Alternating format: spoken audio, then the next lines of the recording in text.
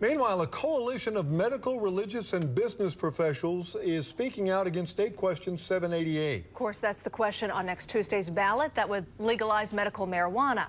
Our News 9's Aaron Brilbeck is on this story. Aaron? Yeah, the coalition met with members of the media today, and members of that coalition were very careful about what your words they chose.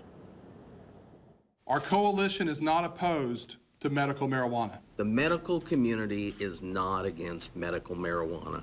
I'm not speaking against medical marijuana. What they say they are speaking out against is the wording of State Question 788. They say it's vague and seems to cover a variety of medical ailments. That the only supportive evidence for medical marijuana was in the cancer patient for nausea and possibly cancer related pain the coalition also points out State Question 788 does not cover potency or the hundreds of strands of marijuana. You can't pass a law that allows all strands. It needs to be where we have studied it, where we know about the drug.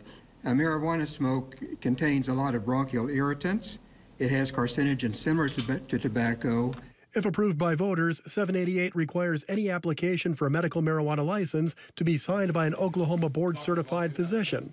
Members of the coalition argue if 788 does pass, college students can grow pot in dorm rooms, those with licenses can smoke in public places, even places where tobacco is forbidden, and they say a person could carry enough pot to roll 85 joints. We either need to make a choice that we're going to do scientific backed legislation or we're going to do Dr. Feelgood quackery.